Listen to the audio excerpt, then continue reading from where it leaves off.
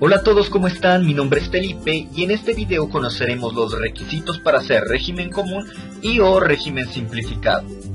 Pero antes de iniciar con los requisitos, es importante que recordemos que los responsables del impuesto a las ventas se dividen en dos grupos, régimen común y régimen simplificado.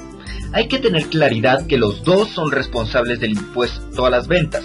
Esto quiere decir que los dos venden productos grabados con IVA y prestan servicios grabados con IVA. Bueno, para hacer régimen común solo se necesita un requisito. Y este dice, pertenecen al régimen común todos aquellos responsables de IVA que no cumplan los requisitos para pertenecer al régimen simplificado.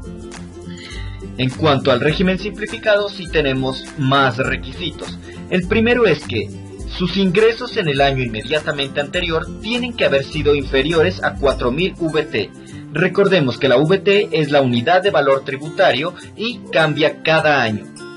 Segundo, tener como máximo un establecimiento de comercio u oficina. Tercero, no ser usuario aduanero. Cuarto, no haber celebrado en el año anterior contratos de venta de bienes o prestación de servicios grabados por valor individual superior a 3.300 VT. Quinto, no celebrar en el año en curso contratos de venta de bienes o prestación de servicios grabados por un valor individual superior a 3.300 VT.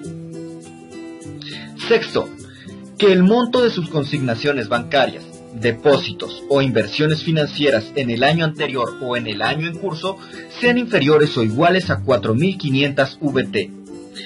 Séptimo, en el establecimiento de comercio, oficina, sede, local o negocio no se desarrollen actividades bajo franquicia, concesión, regalías, autorización o cualquier otro sistema que implique la explotación de intangibles. Y bueno, esos son todos los requisitos. Muchas gracias por su atención. Si el video les ha sido de ayuda, no olviden dar like y suscribirse al canal. Me ayudarían muchísimo. Además, pueden seguirme en mis demás redes sociales en donde estoy compartiendo mucha información útil. Los links se encuentran en la descripción del video. Bueno, eso es todo. Hasta la próxima.